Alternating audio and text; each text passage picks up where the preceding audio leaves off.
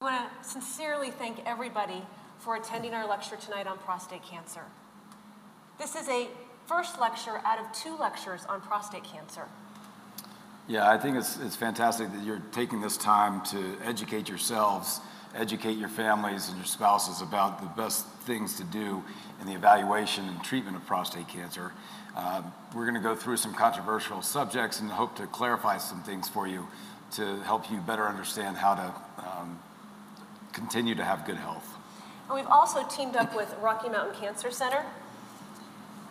We at Boulder Medical Center, Dr. Siegel and I, work very closely with the doctors at Rocky Mountain Cancer Center. And this team approach allows us to give a true multidisciplinary approach to prostate cancer treatment. We are so fortunate in this town to be able to support all of these specialists. And when I'm talking about multidisciplinary care, I mean the urologists, the radiation oncologists, the medical oncologists, the radiologists, and the genetic counselors. We all communicate and can talk together to give our patients the highest quality in outcomes and care. There's significant data on the multidisciplinary approach. And with this approach, we give improved benefits to our patients. We allow patients to have shared decision making, and patients are much more satisfied with their treatment decision once they have been able to talk to all the specialists.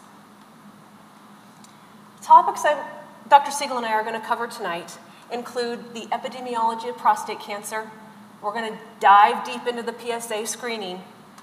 When you get an elevated PSA, what do we do? How do we approach it in clinic?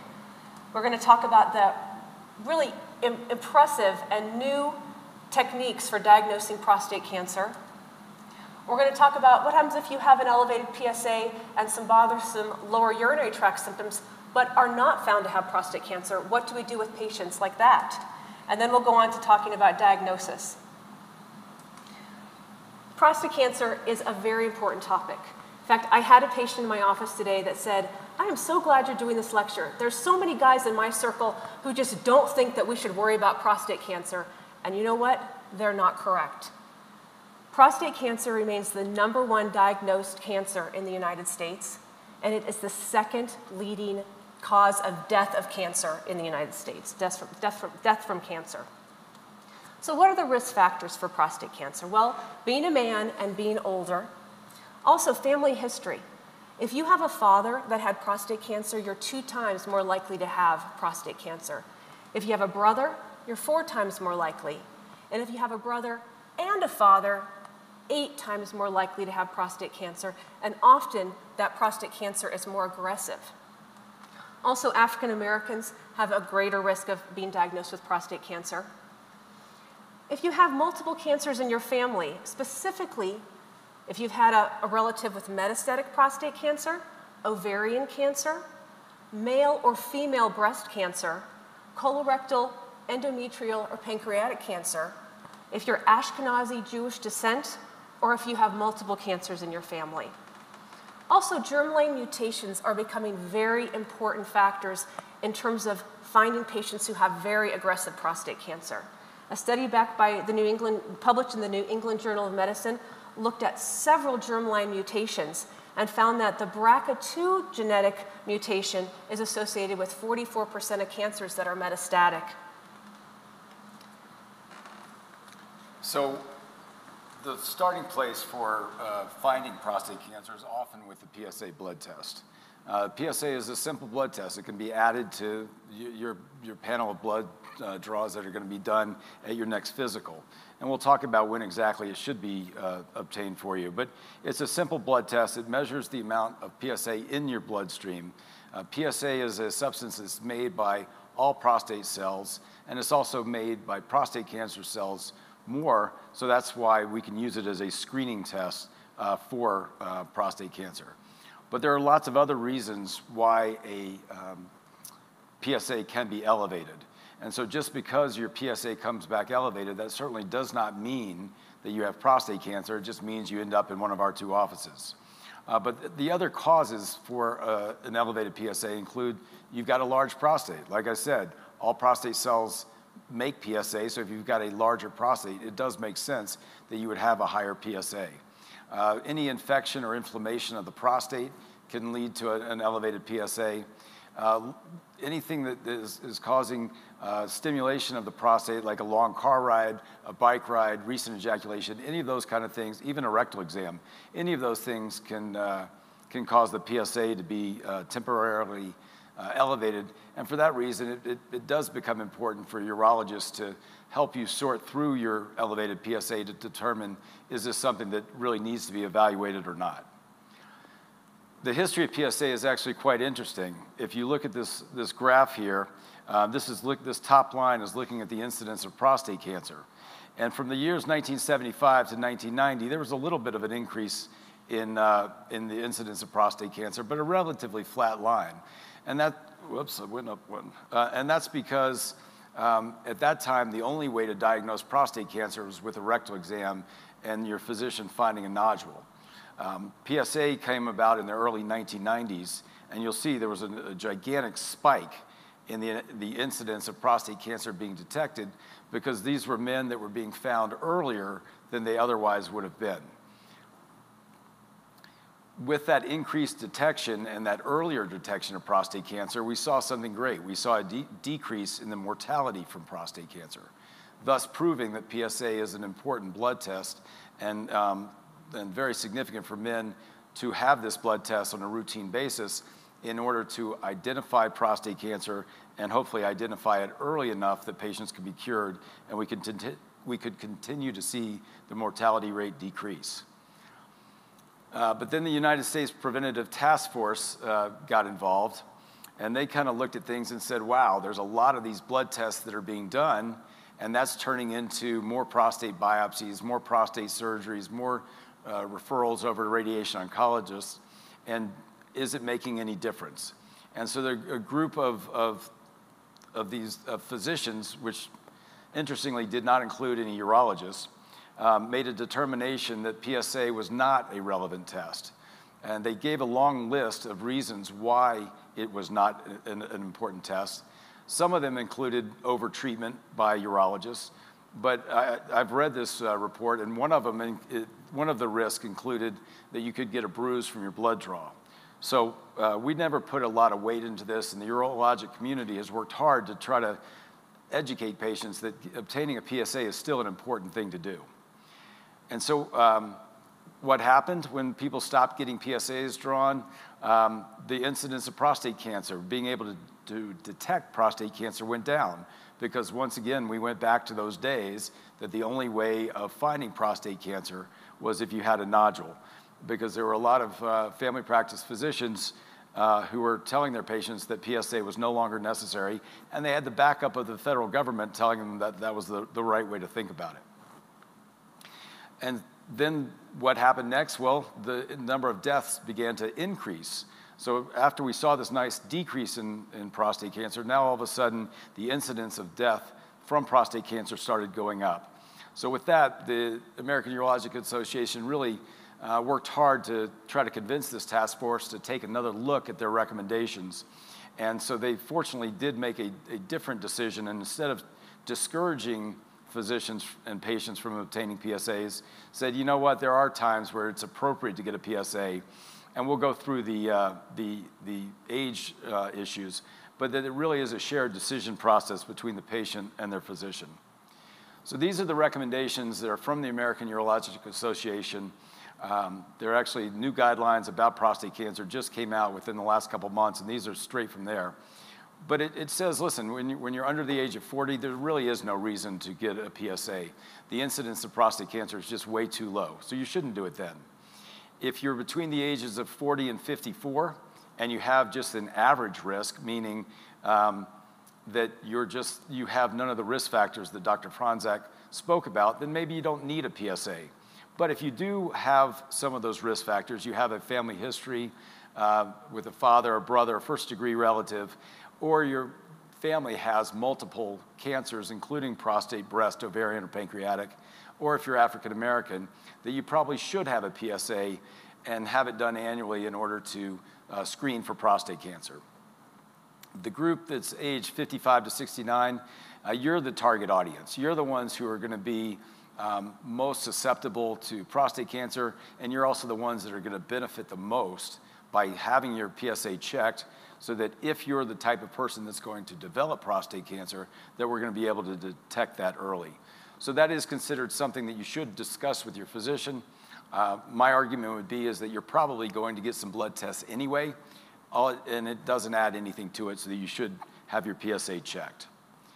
Once you hit the age of 70, the American Urologic Association says maybe there's a, a different decision to be made, and that um, you need to have that conversation with your physician. But the important part to your age is what is your life expectancy? And one of the things that is fantastic about this community where we live is that the life expectancy seems to be a lot higher than the rest of the country. And so if you're a 75 year old and you're still biking up Flagstaff, then absolutely you're someone who should continue to have your PSA checked. So continue your discussions with your physician as to um, whether or not that's appropriate for you. But if you're an active person, I would continue to have your PSA checked. And then the American Cancer Society has helped um, define things as well, and saying that you know if your PSA is really low, normal is less than four, but if your PSA is less than two and a half, then maybe you can go uh, instead of doing it annually, maybe even go up to every four years. Uh, but if it's greater than two and a half, that it should be done at least every two years. And the American Urologic Association believes it should be done every year. I will turn it back to Dr. Fronczak. Excellent, thank you. So as Dr. Siegel mentioned, when we see a patient, it's most of the time with an elevated PSA. And so the question is, how do we go about approaching this in our office? Our goal is to maximize the detection of lethal prostate cancer. And we'll talk about the staging, but lethal prostate cancer is prostate cancer that can kill a man in 10 to 15 years. We want to also use our technology to accurately assess the biology of the tumor, and we have the ability to do that now. And we also want to risk stratify the patient. We want to minimize treatment of indolent cancers, and we want to maximize treatment of cancers that, like I said, are lethal, that will potentially cause significant morbidity and mortality. So what is an initial evaluation like? It will always include a rectal exam and a look at the PSA. So we'll look at the value of the, PS, of the PSA that the patient has. And if it's been set steady and all of a sudden there's a spike, my first intuition is to say, hey, let's recheck that PSA. Let's not just go off the spike. Let's make sure we look at a velocity or a trend so we can establish what is going on. So that, that's one of the first things. It's the last thing on my list here. But I will also say that I encourage all my patients when they get their PSAs checked to have five days of pelvic rest. And there's arguments three days, five days. I think if a man can do at least five days, that's great. Even three days, that's great. And what I mean by pelvic rest is no sex, no masturbation, no bike riding, no ejaculation, pelvic rest so we can try to keep any artificial spikes in the PSA from happening. So also in our clinic, if you have an abnormal rectal exam, but a normal PSA, that is still going to trigger an evaluation. Also, it's important to know that even if you have an elevated PSA between 4 and 10, only 25% of those men will have a positive biopsy upon evaluation with a biopsy.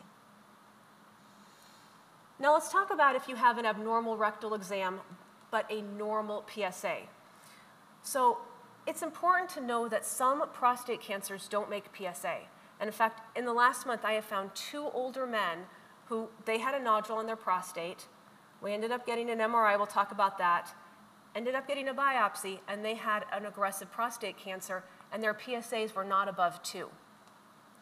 So it's important that a rectal exam is done. And I know a lot of primary care doctors don't do it. Please send them to Dr. Siegel and I. We are more than happy to do those rectal exams. So now we're going to talk about other testing to decide on biopsy. So we, we understand completely that patients would like to uh, avoid prostate biopsies, and we'd like to help you avoid those prostate biopsies. So there certainly is no knee-jerk reaction when a patient shows up with an elevated PSA that says, "We must do a prostate biopsy." In fact, we like to do several tests ahead of time uh, in order to prove that it is appropriate to uh, undergo a biopsy. But the biopsy is the only way that we're gonna truly be able to diagnose uh, prostate cancer, and it's the only way that we're gonna actually start discussions about any whether treatment is needed, would be with the biopsy. So there are tests that we're gonna talk about that can tell us your relative risk of prostate cancer, even the relative risk of aggressive prostate cancer, and those can help push us one way or the other in terms of proceeding with a biopsy. But again, um, the biopsy is not our first choice. It's what we wanna get to at the end of the evaluation. And one way we can do that is with MRI. So we've been able to use uh, Boulder Community Hospital uh, to help us a lot um, with obtaining MRIs, making it simpler for patients uh, to get there and and get a full evaluation of the prostate with MRI. MRI um, is a way to get a great look at the prostate, and we can see lesions that we otherwise couldn't see. So the MRI can help us in a number of ways. If we do examine you and think we feel a nodule, the MRI can help determine, is that nodule within the prostate? Does it look like a benign nodule? Does it look like a malignant um, uh, nodule? Um, when you have an elevated PSA and we send you for an MRI, the MRI can help identify lesions that maybe we otherwise wouldn't be able to see uh, on ultrasound at the time of biopsy to help us decide um, what we can target for a biopsy. And we can, with the technology that Boulder Community Hospital now has, uh, we are able to do MRI fusion biopsies, and in fact, we get referrals from around the state from other offices because of this ability to do MRI fusion biopsy. Um, we'll show you some images later of what that looks like, but it's essentially we're taking those MRI images. Um, the radiologists at Boulder Community Hospital are able to uh, use software to draw a target on the lesions that they found within the MRI, and then when it's time to do a biopsy, we're able to actually hit those specific areas. Um, we also can use an MRI to take a look at the tissue and go, "You know what? We don't see anything there." Even though your PSA is elevated, um, there is no obvious evidence of cancer. There are no abnormal lesions. Maybe instead of doing a biopsy right away, we can, we can follow your PSA. Now, it doesn't mean that the MRI is perfect. There are times where the MRI doesn't see a cancer, but it does help us uh, rule out any big and bad tumors within the prostate. Um, we can also reduce the identification of any low-risk cancers and increase finding the the higher uh, risk cancers, which are the lethal ones that we've been speaking about, that are important to uh, treat. Finally, the way we use MRI is if someone has been diagnosed with prostate cancer, but has a more uh, indolent form of the cancer, and one that doesn't require surgery or radiation or any other type of treatment upfront, we can use the MRI to follow these lesions and determine if there's any any growth or change in these over time. So the report that we get back from the the Boulder uh, Community Hospital radiologist includes what's called the PI-RADS score. Um, and the PI-RADS score, you can see on the left side in the Roman numerals, it's just one through five. And this is uh, telling us, based on what they've seen within the prostate, are there any lesions that they think look malignant? Because they do have ways of differentiating malignant versus benign. So as you can see, as the number gets higher, the likelihood of malignancy goes up. And so the patients that do have specific lesions that should be targeted are called PI-RADS 4 and 5, and those are the ones that we do sign up for the uh, MRI fusion biopsy, so that we can make sure that if we're gonna do a biopsy, that you get the very best biopsy that you can get, which is one that is targeting specific lesions. Uh, this is an image from an actual patient of mine. Um, the top two pictures and the one on the lower left are all MRI images. They're done from different angles, and that's why they look differently. But the uh, purple circle uh, identifies the prostate. The yellow uh, smaller circle is one of the specific lesions within the prostate. This patient actually had three lesions within their prostate. um, that were identified by the radiologist. This is just showing some images of, of the largest one that was seen. And then if you look in the lower right-hand corner, you see a, a, cartoon image of the prostate with the lesion in it that was created by the software. And so then when it's time to biopsy this patient, we can take our ultrasound machine and overlay the, the ultrasound images directly on these images so that we're now looking specifically at the lesions to make sure that we can target them. And so that the patient, if they're gonna go through having a prostate biopsy, can make sure to have the biopsy that they need. And so if there's a cancer, we're gonna find it. So this is a, a cartoon of that same patient. Um, this uh, blue lesion on the top, uh, top left, that was the, the yellow one on the previous uh, images.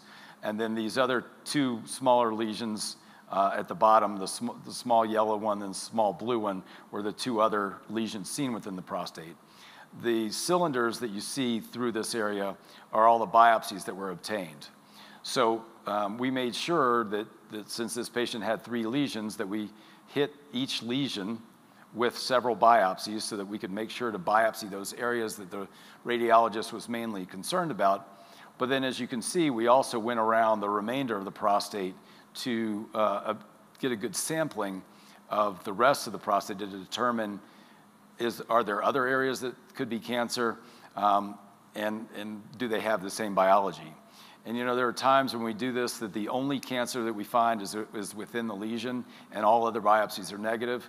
There are other times that we find cancer in lesions and around different parts of the prostate. Um, and then there, I've had a few occasions where the lesions have been benign, and yet we found cancer in other areas. And that's why it's important and the standard of care to not just biopsy these lesions, but also to biopsy around the prostate. Um, and as we said, you know, the, the, the, the MRI is not a, a perfect approach. Um, but it's getting more perfect, and it, it's really been a benefit to us and to our patients to have this available to us um, and to have the relationship that we have with, uh, with our Boulder Community Health radiologists uh, to really improve upon the identification of dangerous lesions within the prostate. Um, when we do a biopsy, um, we, we use this transrectal approach. There is a second approach that is being talked about a little bit more. Uh, it's called transperineal. Um, there's a, just wanted to point out some of the differences and just explain the, the process.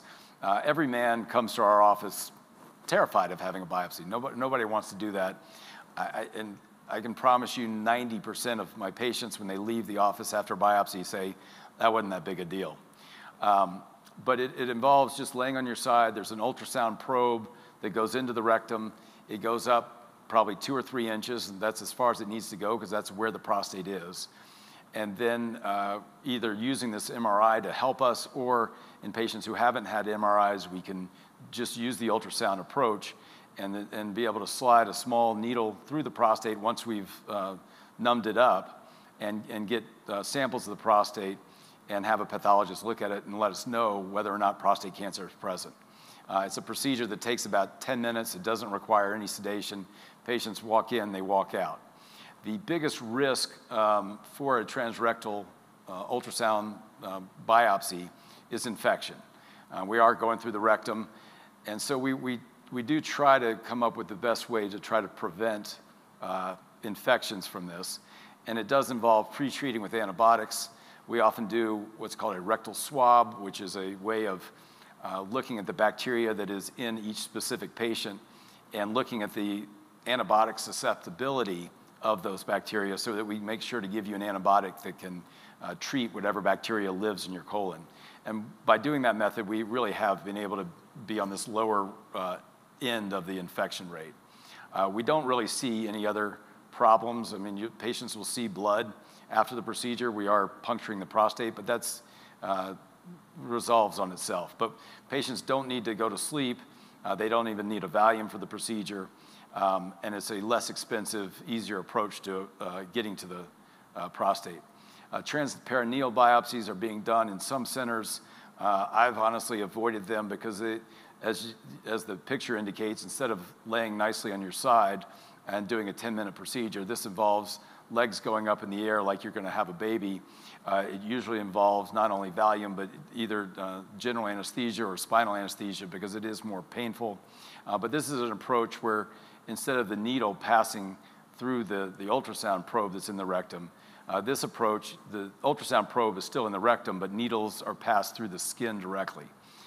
It does have a, a reduced infection rate because you're not going through the rectum, uh, but interestingly, the, the urinary obstruction rate is significantly higher. I've seen numbers as much as up to 10%, and patients being pre-treated with uh, Flomax in order to help open up the prostate to help prevent that um, complication. So we still use the transrectal approach. I still think it's the best approach, um, and we'll continue to do it that way. You're doing genomics? Yeah. So, in addition to MRI, we also do a lot of optional testing as well that is looking at biomarkers. And these are called genomic tests. And the genomic tests that are available really have helped us eliminate doing biopsies in some of our patients and encouraged us to do biopsies in others. So, what is a genomic test? A, a genomic test is looking at a biomarker, and a biomarker is a protein that is either secreted by a tumor or it's a protein that is put into the bloodstream in response to a tumor. So there are several different companies that have been perfecting the genomic testing. And Dr. Siegel and I primarily, I'll talk about the genomic testing that we use in our office. We, we primarily want to focus on genomic tests that are able to differ, differentiate a, a, man having a likelihood of aggressive prostate cancer or meaningful prostate cancer versus the, the low grade indolent cancer. And when genomic tests first came out, like the uh, Prostate Health Index and uh, PCA3, PCA3 came out, the, those just would say if there was a likelihood that there's prostate cancer. It would not differentiate between meaningful versus indolent cancers. But now the genomic tests, as I said, have gotten a lot better, and we again only want to focus on those genomic tests that offer meaningful information. And this slide I took from an AUA lecture last year, and I, it just helps demonstrate how genomics is really becoming a very important part all the way through the prostate cancer screening to advanced disease process.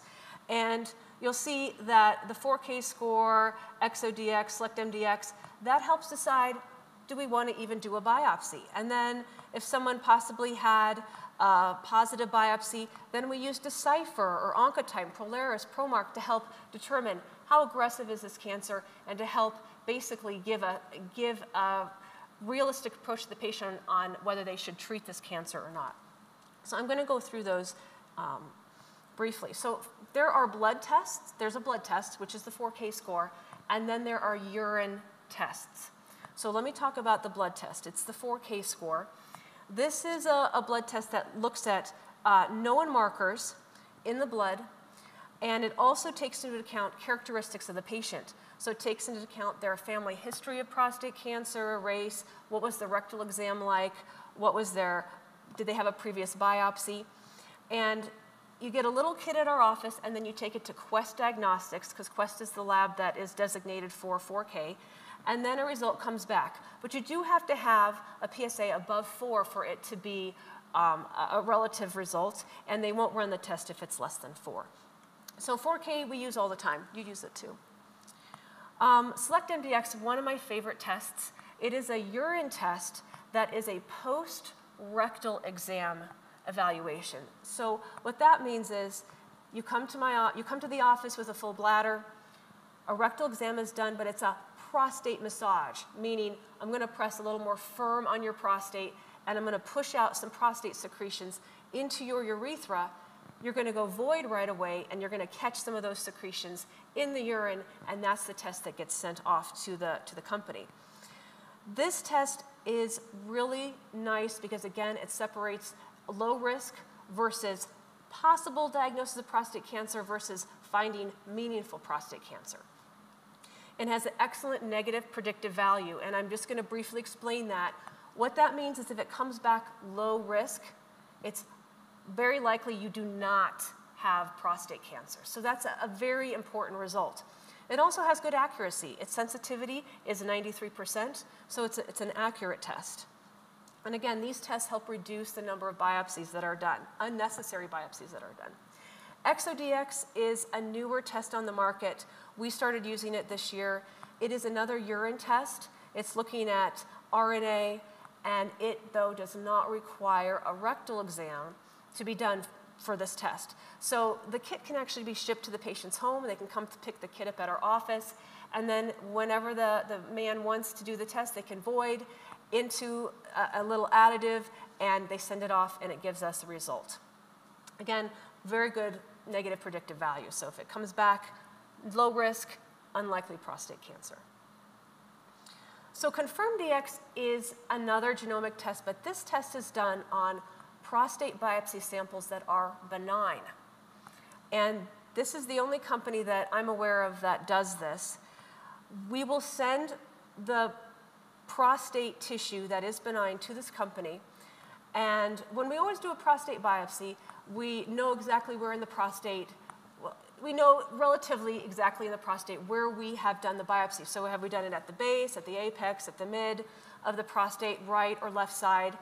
And this company will look at the tissue and they'll look at the methylation of the genes. And if the genes have a hypermethylation result, they will notify us and say, hey, the right apex was positive. And so even though this man had a, a negative biopsy, this tells us that maybe there's something going on in this tissue here and that we will possibly be more aggressive in our follow-up with this patient in the future and make a decision to maybe biopsy again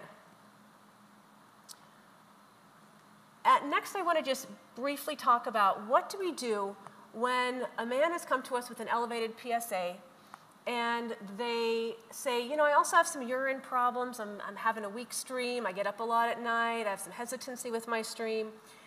And we say, okay, we have this elevated PSA. We, we really need to work that up first, make sure there's no prostate cancer going on. And then once we feel comfortable with that, and we've said either there, we find low risk prostate cancer that we're not going to treat, or we find no prostate cancer, then the discussion becomes more of how can we improve your quality of life? How can we make your voiding symptoms less bothersome? And so Dr. Siegel and I are very much into treating enlarged prostate. That's one of the standards of uro urologic care. We approach enlarged prostate treatment not only on a man's symptoms, on how bothersome is their weak stream or how, how much they get up at night, but also we look at it from an anatomical aspect in terms of how much is the bladder suffering by trying to void against a closed system. So we basically say if the pipe is clogged and the bladder is trying to squeeze against a clogged pipe, we need to open that pipe up so the bladder does not burn itself out over time. We see men unfortunately, that are wearing a catheter. And if they would have just taken care of this 10 years ago, five years ago even, they may not be catheter dependent. But there's always the 80 year old gentleman that is in our office that we're changing their catheter every month because their bladder actually is no longer working. The muscle has deteriorated and it's been replaced with collagen, and they have a bladder that is, is not, is not going to serve them well. So one of the minimally invasive procedures that Dr. Siegel and I are very proud to be part of, and we are actually both a center of excellence for UroLift, um, is, is UroLift. We do this procedure in our office, and it is uh, one of the highest efficacy procedures for BPH. It does not require an OR procedure, and we will basically take a small little implant and push the prostate lobes apart from each other so we unclog the pipe that way. And we're just very proud because I believe we, there's no other, there is no other urology group in the nation that has the entire group of urologists as Center of Excellence. So Center of Excellence is something difficult to achieve, and uh, we are proud to be part of that. So if you have any concerns on how you void, please come see us for our, for our uh, ability to do your UroLift. All right, so now we're going to talk a little bit about uh, the diagnosis of prostate cancer. And I know that um, one of the topics that, that um, patients want to hear about are more imaging, and uh, PSMA has been in the news a lot. And I'm happy to, to say that that's now going to be available in Boulder, um, our radiation oncologists are the ones that are gonna be providing that service. Um, and it's really gonna help uh, identify not only is prostate cancer present, which is what we're really talking about right now, but where is it? And if you have a recurrence of cancer, how do we find it? How do we treat it? And that's gonna be a topic that um, we're gonna tackle, not in this lecture, because I think it's appropriate that our radiation oncologists um, speak about that. But at the end of June, I think it's June 28th, there's gonna be a second lecture um, regarding uh, prostate cancer, and I hope you guys will all will all join us. But um, that's gonna be a great time to hear about uh, PSMA uh, studies and the other things that the radiation oncologists are providing for our community and our patients. But getting back to, you know, so now we've done your biopsy, and the pathologist says it's prostate cancer. Well, that's not the end of the discussion on a pathology report. The next important thing is, how aggressive is it? Um, how do we know whether or not we need to treat this, or is this something that can be followed? And so this is the Gleason score. This, is, this came out decades ago, and it's actually still quite appropriate, but it's a little confusing, so I'm gonna try to walk you through it. Um, but uh, if you talk to friends and families that are dealing with prostate cancer across the country, they're gonna tell you about their Gleason score. So the Gleason score is derived based on this uh, little artwork in the middle of the slide, showing the patterns of cells. And it goes from the top of the slide down to the bottom in terms of how normal cells look. And now, maybe none of this looks normal to you, um, but the prostate is a gland, and the prostate cancer happens within those glands. And so if there's these nice little circular patterns at the top, that's a pretty normal-looking gland, and if you go all the way down to the bottom, it looks nothing like what's at the top. And that's showing a cancer getting more and more aggressive. So it used to be that the pathologists would look at this, and it would look at your cancer and say, "All right, well, I'm looking at this area, and this is a one, two, three, four, five pattern." And then say, "Okay, now I'm gonna look at this other area, and this is a one, two, three, four, or five pattern." And then we add them together, and that's how you derive the Gleason score. Well, since this has come out, they've decided that um, Gleason 1 and Gleason 2 really aren't cancers. So it's a it's a pattern three, four, or five um, that are really the cancers that are being diagnosed. So if you look on the left side of the page, this is the, all the choices that you can have in terms of what your Gleason score is uh, going to be. And this is the ranging from the least aggressive, which is this three plus three equals six, to the most aggressive, which is five plus five equals 10. Seems like simple math, and seems silly to include three plus four equals seven, and four plus three equals seven, because uh, we can all do that math. But that actually is meaningful um, to physicians. The number that is listed first is what they see more of. Um, so a four plus three equals seven is actually a more aggressive cancer than a three plus four equals seven, and again, it's because there's more irregular cells, this Gleason 4 pattern, that we're seeing uh, on your biopsy than the Gleason 3. So it's been decided that this is way too confusing. So they've tried to simplify it, but in my mind, they've actually made it a little bit more difficult. So now we've changed it to calling it a grade group, and we're calling it one through five. And so the way that works out is if you have a six, a three plus three equals six, that's considered grade one. That's your least aggressive uh, prostate cancer, and one that likely is never gonna need any type of treatment. Three plus four equals seven, well, that's one step more aggressive. That's called your grade two.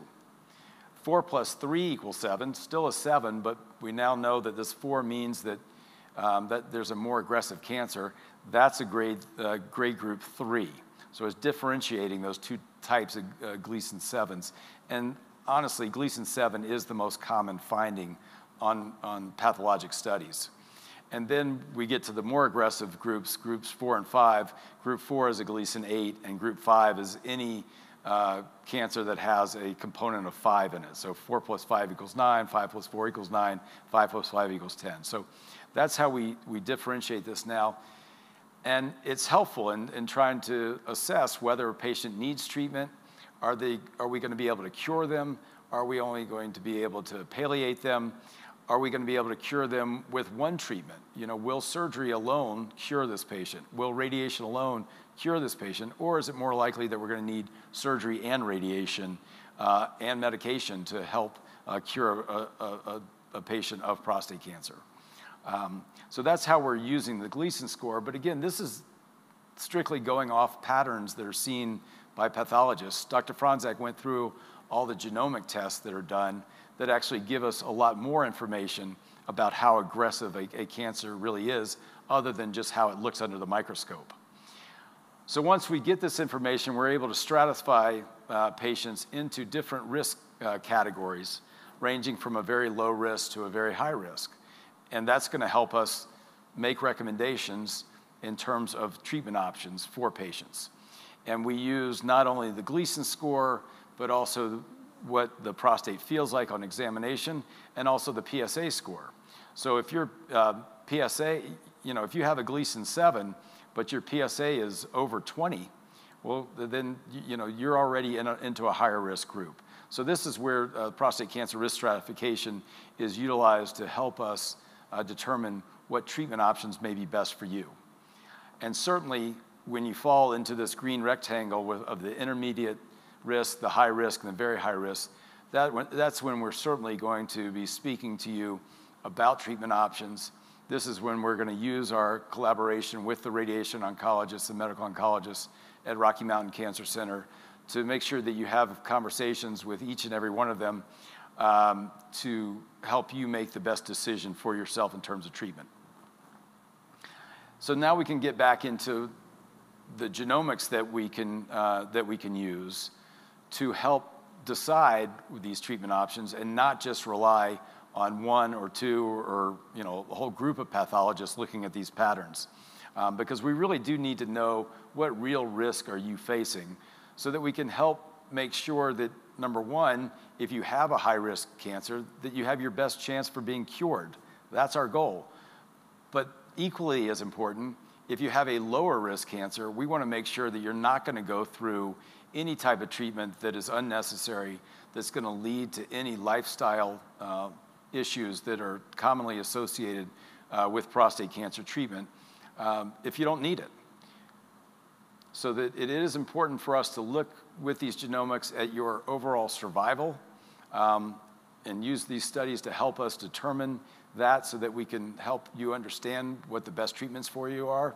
Um, but overall survival is not the only thing that we need to know. We need to also know that what's the likelihood that you're never gonna have metastatic disease, where disease is not gonna spread outside of the prostate? Um, because that's gonna open up a different door of treatment options for you, and we wanna make sure that, number one, we can prevent it, but number two, if we can't, that we have treatments for you. And again, uh, when we hear from uh, the radiation oncologists uh, talk on on uh, June 28th, they're gonna be able to tell us about uh, PSMA uh, imaging and how that has changed the way we're looking at metastatic disease and prostate cancer. But I do think it's important that we have more than just the pathologist's view, and that's using this Decipher genomic test.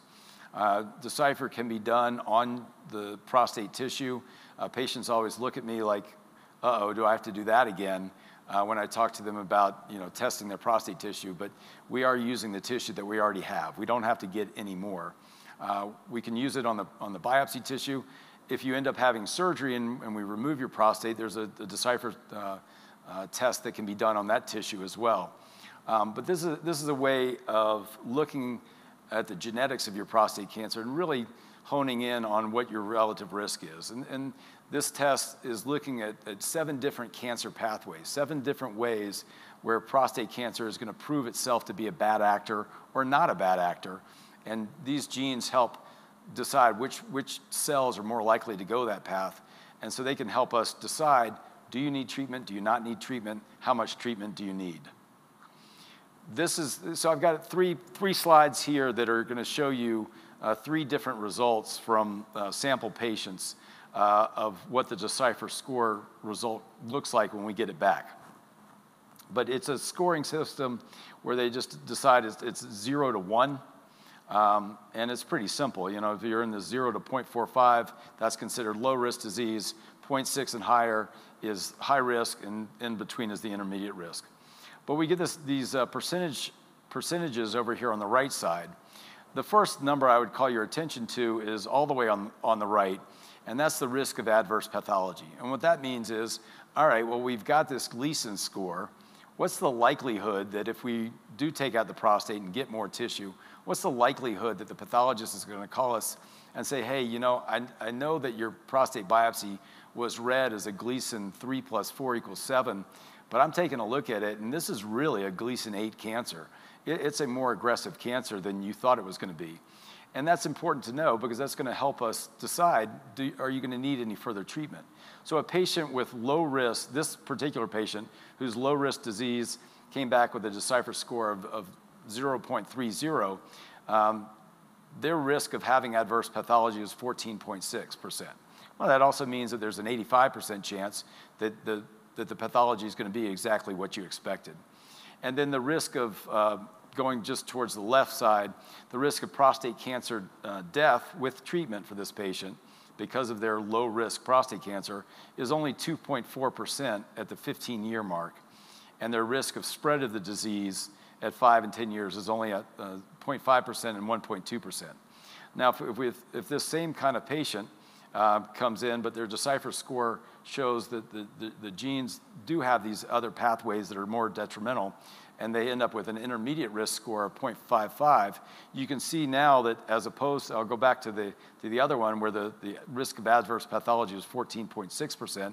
Now by jumping up in the intermediate uh, group, that risk is now, has now doubled. So now we're, we're going, all right, well, this is a patient that we really need to, to treat because, gosh, that we, there's a one in four chance that, that we're going to end up with uh, worse disease than we, when we, than we think this patient has. And likewise, the other numbers also increase. The, the mortality goes up to 4.6%, and the metastases also go up. Um, again, low numbers. These are patients who are going to be treated, um, but it tells you that, that we need to be a little bit more aggressive in terms of patients with intermediate risk. Now, if they go up to a higher risk, you can see the numbers really jump. So, um, you know, we, we started with a 14% risk of adverse pathology. We went up to 28.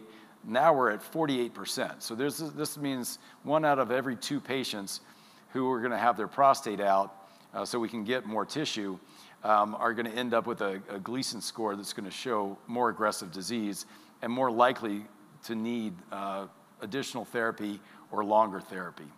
And likewise, the mortality and the risk of metastases go up. So this is just an example of an important test that we're doing in just about every patient now that we diagnose with prostate cancer. Um, I'll be going into this at our, our next discussion about, uh, it, it, on June 28th, about active surveillance. You know, who are the patients that don't need any treatment? And certainly the Decipher score uh, is quite helpful in differentiating those patients and giving them assurance that, you know, if you, if you don't treat it right up front, um, that you have a great chance of doing very well. Um, Decipher is not only helpful in patients that are having surgery, it's also um, very important uh, in patients that are going to have radiation therapy. Uh, radiation therapy uh, does quite well. It does better with the, with the utilization of, androgen deprivation therapy. Those, that's medication that stops a man from making testosterone. Um, and there's a duration for how long do you have to be on that medication in order to get excellent radiation therapy. And studies go from anywhere from not at all all the way to three years. Well, how do we decide if you're someone who can skip the androgen deprivation therapy, someone who needs six months, someone who needs 18 months, someone who needs three years? Well, the Decipher score can help with that. And you'll hear more about that on the 28th. Um, so just to, to, to again, to, to, tell you what we're going to be doing on that day, uh, we're going to have our, our two excellent um, radiation oncologist from Rocky Mountain Cancer Center join me, um, and we're going to go through uh, the topics of treatment of prostate cancer. Prostate cancer is such a huge subject. It, it's so controversial about whether to get a PSA, when is the appropriate time? Do I really need to get one? Do I really need a rectal exam in the blood test enough? You know, can I get an MRI? Um, that we really wanted to be able to present um, to you in a way that we can show you the different aspects of prostate cancer and let you know how we as, as urologists think about it in terms of evaluating who even needs an evaluation and who doesn't, because we'd really like to walk you through this slowly. um, and help you understand that, that it's important because prostate cancer is a significant killer. But, but it's also something that if, it's, if you don't have signs that this should be aggressive disease, we'd like to help you avoid going through unnecessary tests. Um, so again, we're going to continue to work with uh, Boulder Community Hospital. And we're so appreciative of them for giving us an opportunity to speak to you, but also for what they do for all of us, to, for us as urologists to um, be able to diagnose and have access to um, the treatment options. You know, the Da Vinci robot is um, proudly in the Boulder Community Hospital operating room, and it's uh, hard to get on it because so many uh, surgeons are utilizing it. Um, but it's an important component to how we take care of prostate cancer. Um, having radiation oncologists and medical oncologists on site uh, with uh, really state-of-the-art equipment, um, it, it, makes it so that patients in Boulder can certainly stay in Boulder and have top-notch um, care for their prostate cancer. So um, I think with that, we're going to open up to your questions. Oh my goodness, this is us at the at the Boulder Boulder. Yep, this is us and Yep, there's Dr. Siegel right here. There's his wife, Julie. I'm there. There's my dad, who's run every single Boulder Boulder. He's part of that uh, Run Them All club. This is Dr. Siegel's parents, and this is my sister. So, I mean, we're part of the community here. We want to be part of your, your health care. And so, again, thank you so much for taking your time to join us tonight and listen to this lecture. We're just very grateful. And now we'll be happy to take any questions as long as they're not hard. Okay, then. Okay, then thank you so much, uh, doctors. That was very informative. And we do have a few questions that have come in, and I imagine uh, a few more will come in. So we will just start with uh, there's a, a, guest who's asked a, um, it's kind of a two parter question. Hold on, can you hear me? We can hear you. Yeah, we can. Okay, good. okay, so I'm going to ask this one first. Um, this guest mentions that some men report full erectile function and no issues with urinary incontinence, while others report no more function in either department. His question is What are some of the reasons for varying degrees of ED and urinary incontinence post radical prostatectomy? Yeah, so um, the, thank you for the question. I mean, the patient is, is uh, completely correct that, that some of the lifestyle complications that we see with robotic prostatectomy, and I'll get into this on the 28th, is uh, urinary incontinence and um, erectile dysfunction. So the, I'll take the erectile dysfunction first. The nerves to the penis run right alongside the prostate. And so um, when we do a large uh, radical procedure and we're you know really worried about you know really aggressive disease, the MRI shows that the disease may be outside of the prostate. Um, we really need to make sure to get all the cancer out. That's the primary goal of the uh, of the surgery. But if the cancer is only on one side, we can go a little bit closer to the prostate and try to save nerves for you. So I do what's called a nerve-sparing uh, radical prostatectomy. Um, it would be nice if the, the, those nerves were, you know, large cables, um, like, you know, the, the cord that plugs into your, your computer. Uh, but that's not what they look like. The, those nerves are a plexus of nerves. They're almost like a spider web. So we don't actually see the specific nerves. And so you don't actually, cut it and go, whoops, there it went. Um, instead, we just look at, at, the tissue around the prostate. There's usually some fat and some blood vessels, and we know that the, those nerves run through that. And so if there's a side of the cancer, uh, side of the prostate that doesn't have cancer, I can make sure to shave very close to the prostate and leave that behind. Um, other, other times we can't. So it just depends on the biology of the cancer and, and, and uh, again, a, a, utilization of the Decipher score.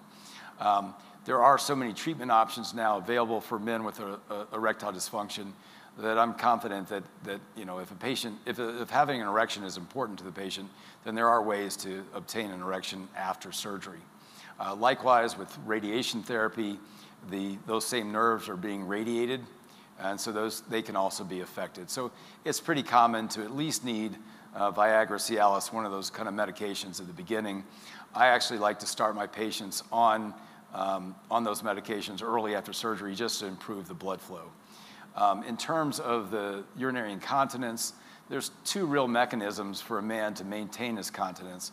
Uh, one is the prostate, and the second one is the sphincter muscle. The sphincter muscle is just beyond the prostate, so we do have to sort of peel the prostate off of that. So during the operation, that, that, that sphincter muscle is going to get dinged up a little bit. Um, and then we're going to remove the prostate. The urethra, the urinary tube, runs through the middle of the prostate.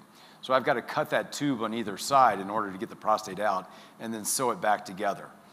In order to allow that area to heal, I leave a catheter across it. Well, that sphincter muscle not only gets a little dinged up during surgery, but now it's had a catheter through it for the eight to 10 days that I leave the catheter in, so it's done no work. And then as soon as the catheter is removed, it realizes, hey, I got to get back to work, and oh, my, my friend, the prostate's gone, so I've got to do all of the work. So just about every man's going to leak initially, and then over time, um, that continence will come back. And also, Dr. Siegel and I were very big on sending our pre-prostate patients, prostate cancer uh, robotic patients, to pelvic floor physical therapy so they can get in tune with that, those pelvic muscles that they're going to need to help with incontinence improvements. So there are sort of exercises Yes. and, and Yeah, I mean, there's, there's, a help with small, that. there's a small percentage of men that will have significant incontinence and may even have to go on to additional procedures to help with that incontinence. But the, the huge majority are either dry or dry except when they're caught off guard by a sneeze, have a full bladder, and, and pick up something heavy. So, what I tell men to expect is, you know, hopefully you're going to be completely dry, but you may be at the place where, you know, gosh, you're, you're, you're around your house, you're running to the grocery store, you, you got a pair of jeans on, you may leak a couple drops, but no one's going to know the difference and you're okay. But you're going to go out to dinner with a bunch of friends and you're planning to wear khakis, you may put a small pad in, in, uh, in your underwear. Uh, you know, during that first year of recovery, but hopefully that's not a long-lasting thing, and I, I think that's been the experience with the patients in Boulder.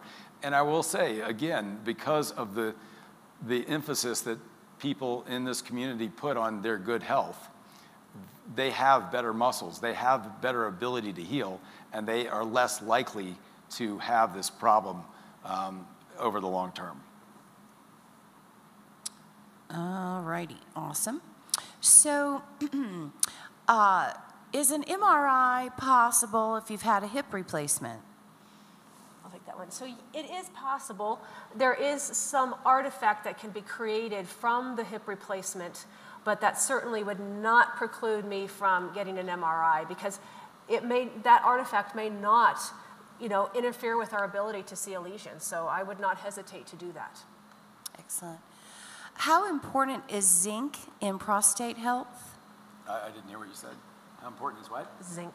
Zinc. You know, there, there are a lot of uh, there are a lot of supplements that are out there that um, um, are utilized to try to help uh, prevent prostate cancer. Um, zinc is actually used as something to try to reduce inflammation within the prostate. So I'm not sure it plays a large role in um, in prostate cancer prevention. Um, if you're looking for ways to try to prevent prostate cancer, there are dietary ways of doing that. Uh, lycopene is a substance that's found in tomatoes and watermelon um, that can help, that studies have shown a reduction in the incidence of prostate cancer. Interestingly, with the tomatoes, it's better to, to, to obtain the lycopene with cooked tomatoes as opposed to raw. Um, selenium has been found to be uh, something that can help um, inhibit the production of prostate cancer. Selenium is found in Brazil nuts. So if you're into Brazil nuts, then you're helping yourself. Uh, soy is another uh, item that has been quite helpful. Um, so the next time you're at a Japanese restaurant, get the edamame. Um, soy sauce doesn't count, but the, the uh, edamame is, is, is, a natural plant estrogen and can help uh, prevent prostate cancer. So supplements play a large role. Um, if you're actually interested in that subject, there is a urologist by the name of Dr. Mark Moyad, M O Y A D. I think he's out of the University of Michigan, who's written several books about that. Um, there's also a company called Theralogix, uh, T H E R A L O G I X, Theralogix, um, that makes multiple urologic uh, supplements for a variety of things. And one of those things is prostate cancer prevention. So I, I would tell you to go look at those uh, sources for more information. Perfect. This guest says you didn't mention doing anything to rule out uh, prostatitis before proceeding with an MRI. How do you rule out infection as the cause? So that's an excellent question. And, you know, that, that has to be a evaluation of the prostate and the PSA, and we have to look and see at the trend of the PSA. So if a man has a prostatitis, usually that PSA will be normal before the prostatitis, but then it will jump significantly with the prostatitis. So that comes back to recheck your PSA, treat the prostatitis, and then recheck the PSA, you know, several weeks afterwards. But I think there's more of an old school of thought in terms of when a man has an, an elevated PSA to just put them on a course of antibiotics. I don't do that much anymore. Do you do that anymore? That's really not been found to be very beneficial. It, it actually has been found to delay the diagnosis of meaningful prostate cancer. And so nowadays, if, if a man is having pain in the prostate or they just have these symptoms that really are telling me or Dr. Siegel, yeah, this is an infection, then we treat it as such. But certainly, if a man comes with a PSA of 4, 4.5, I'm not going to say, hey, let me give you 21 days of antibiotics and let's see what happens with the PSA. No, I'm going to do more of the genomic testing. I'm going to do more MRI. Those are tests that are, are going to, give results independent of infection. And so I, I, don't tend to, to put people on antibiotics with, with prostatitis that, with, no, I, I put them on antibiotics with prostatitis, but not as a, as a standard of care for an elevated PSA. Hopefully that's answering your question. But I think that's exactly the point of us not saying when that patient shows up with a PSA of 4.5, it very well could be prostatitis. And instead of saying, all right, let's sign you up next week, we're going to bring you back for your biopsy, right. that's where we're using all these other tests so that if a man's PSA is elevated because of, of prostatitis, I would expect that when I do a SelectMDx urine test on you, that it's going to come back as a very low risk for cancer. And at that point, we're going to say, all right, it's a, it's a low risk. We're not doing a biopsy now. We're going to get another PSA, um, and hopefully your prostatitis is resolved and your PSA is going to come back down. And, and also MRIs. Often the MRI radiologist will say, there's signs of prostatitis in this prostate and or the prostate is 80 grams and the PSA is 7. And we say, eh, that, that could be why the PSA is 7. You know, there's signs of prostatitis in that prostate on the MRI. So just to, just to reiterate, the testing that we do is, is really much more specific now than, than just saying, here's some antibiotics. Perfect. Is cryotherapy available in Boulder? Cryotherapy? Cryotherapy. Uh, it is not. Um, cryotherapy is something that um, I, I, was trained in, uh, I originally got kind of excited to be able to offer something new and different. Um, I got talked out of it. Uh, and the reason was that, that the, for those of you that don't know, cryotherapy is a way of putting probes throughout the prostate, sort of in the same way that you saw that image of the transperineal biopsy, but putting probes throughout the, uh, throughout the prostate and freezing uh, the prostate. The idea is you can freeze the cell and kill the cancer cells. Um, the problem with that is that the urethra, the urinary tube, runs through the middle of the prostate. And that still is an important uh, tube that you need, to, whether you have prostate cancer or not. And so, in order to maintain the health of the urethra during cryotherapy, we would put a, a catheter in that was a warming catheter to make sure the urethra stayed warm. Well, the issue with that is about 15% of prostate cancers actually are go right up to the urethra. So that's 15% of patients who aren't going to get effective treatment. So I've never been a believer of cryotherapy as a initial approach to uh, treatment of prostate cancer. It has been utilized in patients who've had radiation therapy and have evidence of recurrence um, within the prostate and nowhere else. It has some efficacy there, but I, you know I can tell you that that's where I thought that I would be using cryotherapy uh, in, in the, the, state that I used to practice in. Um, but those patients are few and far between and, and that actually could benefit from that. And I will tell you that, that, that the radiation oncology has only gotten better in terms of being able to cure prostate cancer. So I don't think of that as something that would be a, a good tool in our arsenal. I think that, you know, we're certainly building up what's available to patients in, in Boulder. Um, and I understand the question and the, the interest in cryotherapy, but I would actually point you in a different direction. And radiation, much safer option. Excellent. Do you know, I had a question about this as well. A guest asks if the MRI is to find lesions for targeted biopsies, why were other biopsies or towers shown throughout the prostate in the cartoon that you showed? Right. So, um, because prostate cancer doesn't always show up on an MRI, and it, it is important to know again. So, if you want a nerve sparing operation, and, and that patient that I showed the picture of, they had three lesions uh, all on the right side of the prostate. I know it looked left, but that was the right side. Um, but they had three lesions on the right side of the prostate. So if I biopsy that area and those come back as significant cancer that requires surgery, and now I've sampled the left side and there's no cancer on that side, I can use that information to say, hey, you know what? It's really safe to do a nerve sparing operation for you on the left side, um, and maybe not so much on the right side. Um, and you know, there, there have been plenty of instances where there are cancers found in other places in the prostate. So that, that is the standard of care um, that is um, taught by the American Urologic Association is to make sure to, to not just biopsy the lesions, but to make sure to sample throughout the prostate. Another thing that we'll be talking about on the 28th is whether or not focal therapy uh, makes any sense. You know, if I only have cancer in that one little lesion, can't you just treat that lesion um, and that's an interesting question, and, and, that's being debated and tried now. But it's really important because prostate cancer does tend to happen in little satellite uh, islands around the prostate. It's really important to know that if you're going to go through prostate cancer therapy, that you're treating all of your cancer.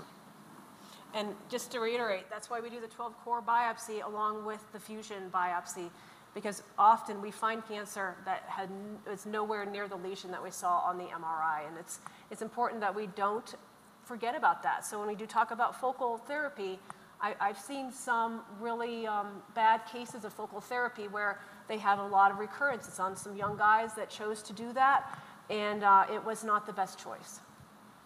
Excellent. Will prior UroLift procedure impact the diagnostic procedures you have discussed this evening? And how will diagnosis, diagnose, by, shoot, diagnosis be done post UroLift?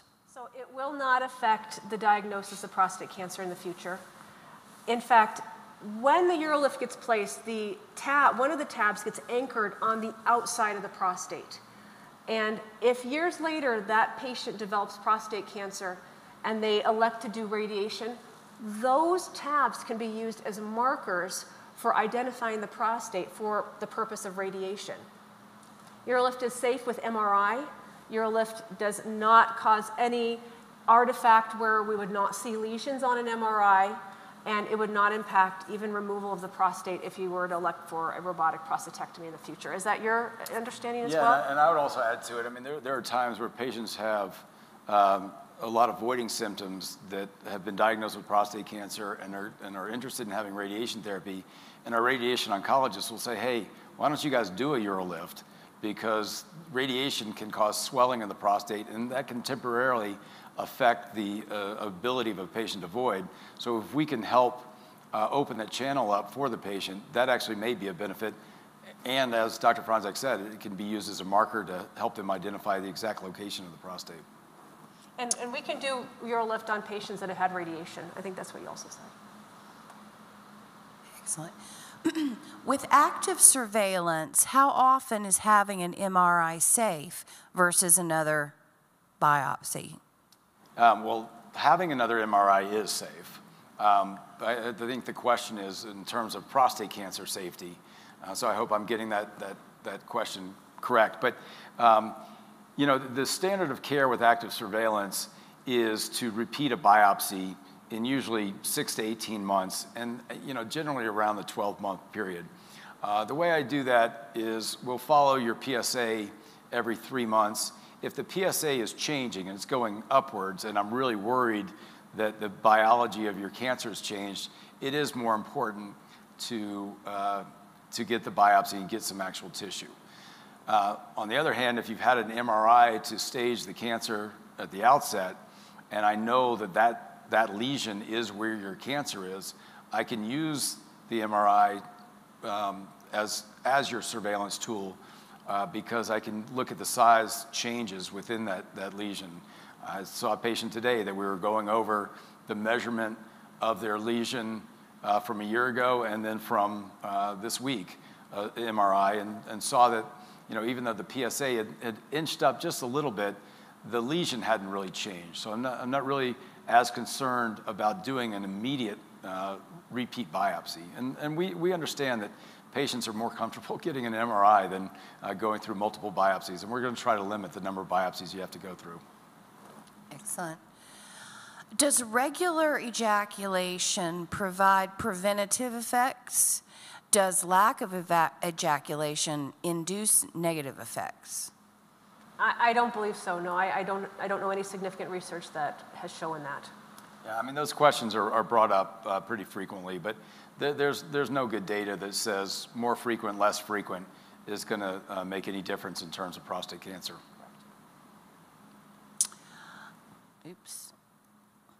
Uh, a guest asked a question, and one of your colleagues is on time, uh, is online an- answering this, but I, I will ask it. Uh, is HIFU Medicare approved? HIFU, H-I-F-U, Medicaid approved. If not, when do you expect it to be? Um, so HIFU is high intensity focused ultrasound. This is one of the, the focal therapies uh, of the prostate. Uh, it, it has now been FDA approved. It took, it took a very long time for it to get FDA approved as a, as a, a treatment for prostate cancer, focal therapy. That's still uh, something that's done in very few uh, locations. Um, it's not available in Boulder. I don't, I don't know anything about insurance coverage. I would guess that Medicare covers uh, HIFU. Um, you know, all the HIFU work was done at the University of Indiana. So I think if, someone out there is actually interested in having HIFU therapy, that's the place I would go to to, to ask questions and receive treatment. Because I, I don't think there's many urologists that are doing that as of yet. Does um, Medicare cover PSA test for men over 70 years of age?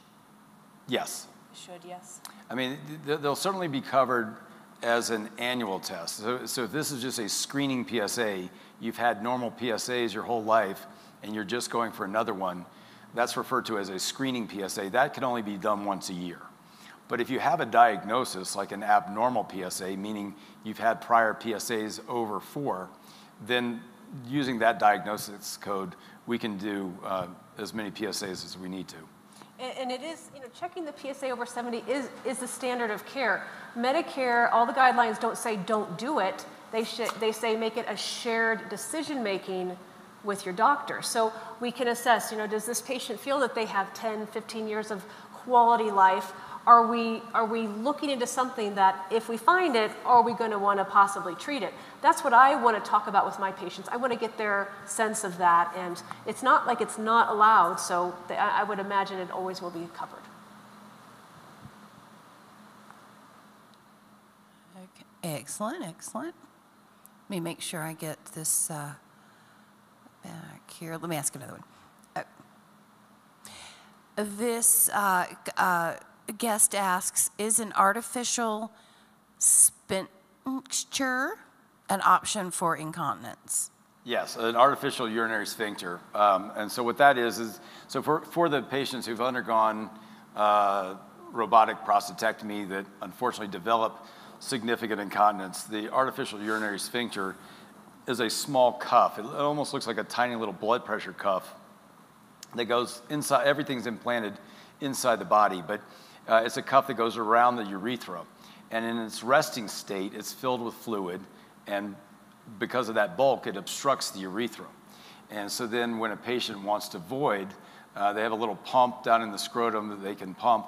That cycles the fluid out of the cuff and into a little bulb that we, that we can bury in the body somewhere. Um, and allows the urethra open so they are able to urinate and then it cycles itself closed. So it is an effective uh, treatment for significant incontinence. But it, uh, again, we're, you know, we're fortunate that, that it's not very common at all that, that, they, that is even brought up as a conversation because there's so few patients that have that kind of leakage. Yeah, and, and robotic prostatectomy, the, the way you can see the nerves in 3D, it really has changed the ballgame with that. How much does rectal gas compromise the MRA, MRI image prognosis? So that's a good question.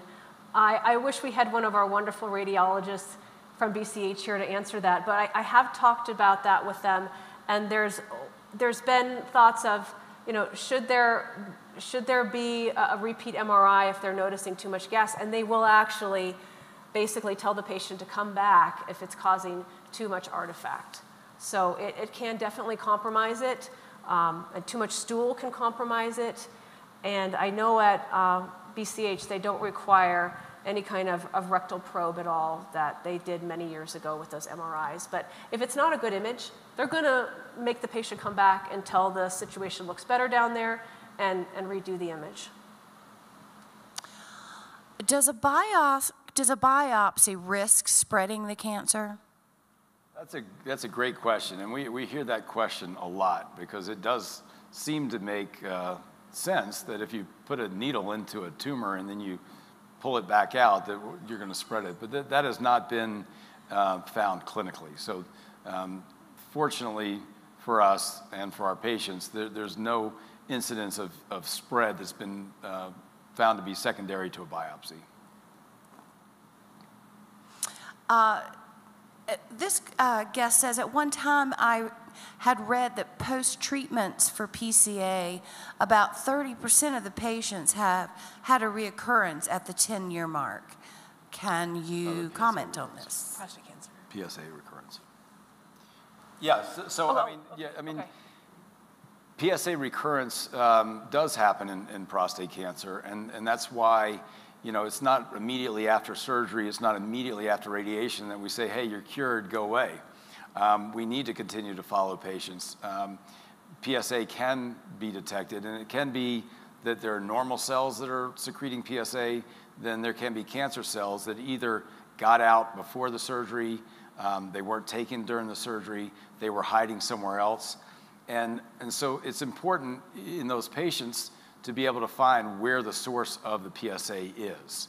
So if it's a patient who's had radiation, we're going to want to do some of these PET scans that you're going to hear about on the 28th, if I haven't plugged that enough, um, to, to find out, well, is the source of the PSA coming from the prostate itself? And maybe that patient's appropriate for cryotherapy. Or is this PSA coming from a lymph node that wasn't detected in pre-op or um, you know, pre-radiation screening? And so now we know exactly where it is. So that is why we will continue to follow our patients.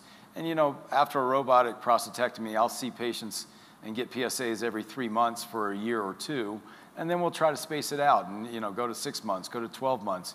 Um, but still, you know, we see, see patients say, hey, yeah, I've got, I had my uh, radical prostatectomy in, in 2007, and we're like, yeah, let's go downstairs and get you a PSA, because we do want to make sure that um, it stays either very low or undetectable. In, in addition to our, our new scans, new PET scans that are out there, also that Decipher test that Dr. Siegel talked about is very important. That can help set the pathway for whether there's going to need to be more aggressive treatment in the future, more aggressive follow-up, even after ro robotic prostatectomy or radiation. And so that, that, that genomic test is also helping to predict where things might go in the future so we don't so we have that metastasis-free survival. That's, that's what we want. How does cribriform pattern affect risk evaluation, parenthesis pathology of removed prostate? Okay, so cribriform is, is a, a more aggressive type of pathology. That, that would, if I recall, that would be considered like a, a five on that.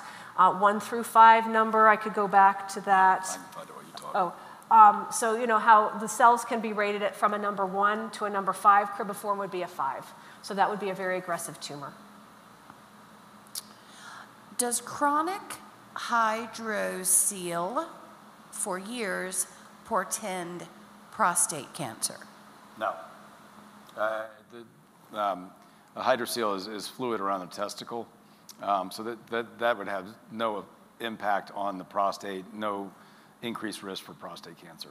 Unfortunately, just being a man, having a prostate and getting older is a risk for prostate cancer. So Okay. Um, uh, is prostate massage an effective preventative therapy? Not that I have ever read in any clinical trial. I have guys that do it, and I don't believe that it would impact prostate cancer. No, I mean, I, I think patients have used them in the past for, um, for sort of chronic treatment for prostatitis, but not in a, not in a way of preventing prostate cancer. Uh, this guest says I'm 82 and have chronic spermatocele. Yep. Is it important for me to know any relationship to prostate cancer? Again, testicles and the prostate don't have any effect on each other in terms of creating prostate cancer, but testicles are important when you're managing aggressive prostate cancer because we want them to make less testosterone. You have the hardest job here having to pronounce all these words. Well, you know, and I try my best. Um, uh, this I may have answered this. Uh, is there a chance of reoccurrence even if the prostate was surgically removed? Yes, uh, unfortunately, there is. And, and I mean, if we're going to go back um, to the Decipher score, um, where was that? Um, you know, so if you have high risk disease, I mean, again, looking at this, this patient who had this risk of 0.80, um, there, there's a risk of metastases at, at you know, 6.5% at 10 years, and that's someone who's had either radiation or radical prostatectomy. So unfortunately, you know, prostate cancer is still a cancer. And although a lot of you have heard that, you know, it's a slow growing cancer, you don't need to worry about it, you're going to die of something else, you're going to die with cancer, you're not going to die from prostate cancer. Unfortunately, there still are very aggressive uh, prostate cancers, and that's why it's the number two cancer killer in men.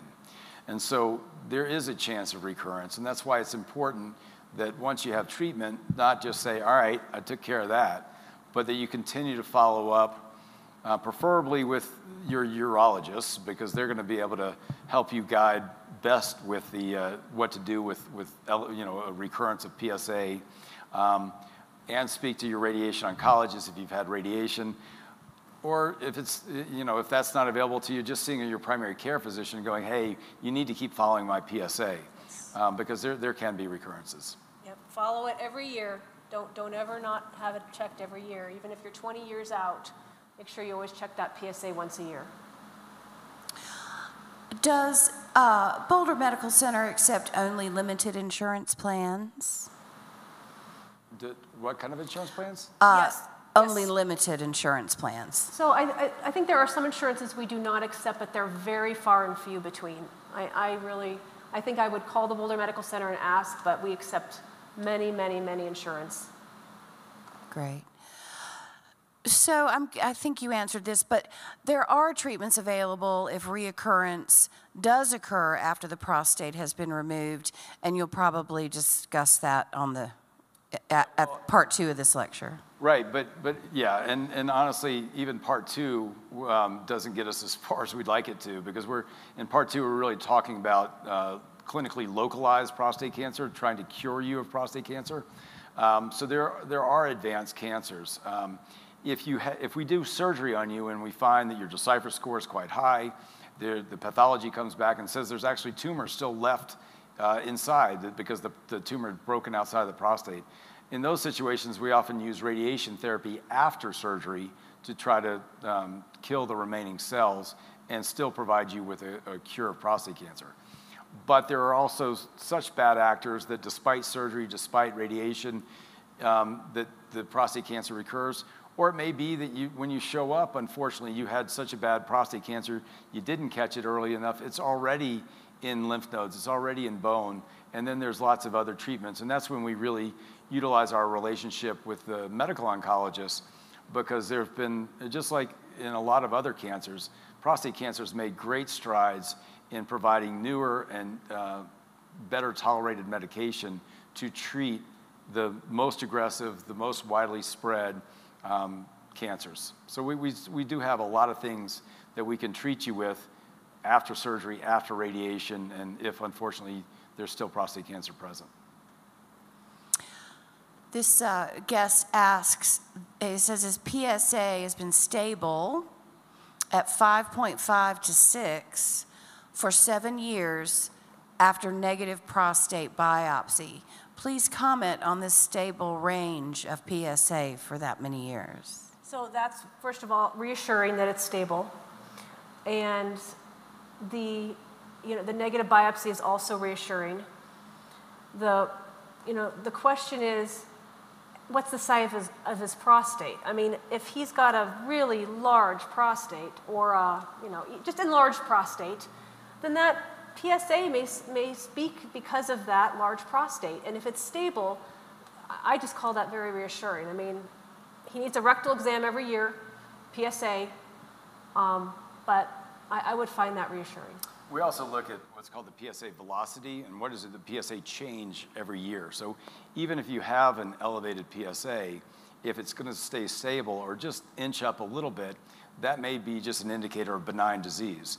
When your PSA grows by more than 0.75 in a year, that's the tipping point where you say, hey, that, that velocity is a little bit too fast. Mm-hmm. Maybe we need to get uh, more of an examination. So if it stays in the six to seven range, you're doing great and keep doing what you're doing.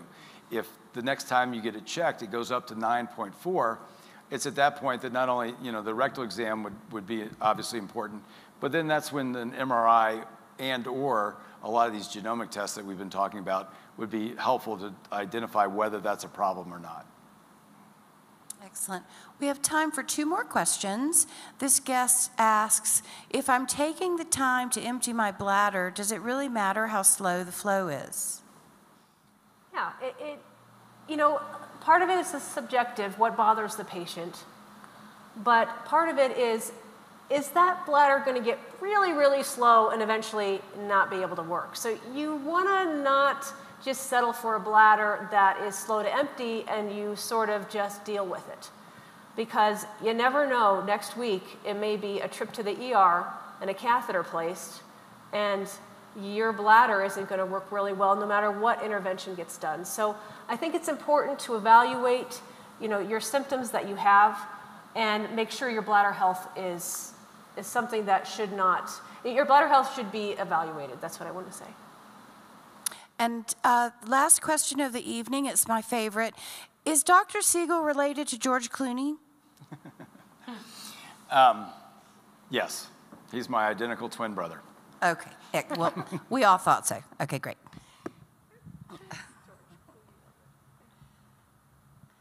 So uh, we have come to the end of our time tonight. We sincerely thank our experts tonight for their time and expertise, and um, do uh, make sure that you look for the um, continuation of this prostate cancer discussion. It's on the 28th of this month. And um, so, uh, again, we say thank you, and we'll let you know that a recording of tonight's lecture is available at bch.org backslash live stream. So you can rewatch this and check out the slides again if you uh, want to review it again, feel free. And you'll also receive a post lecture survey by email. So please take a minute to fill this out when you receive it. And um, thank you again for joining us tonight and have a nice evening.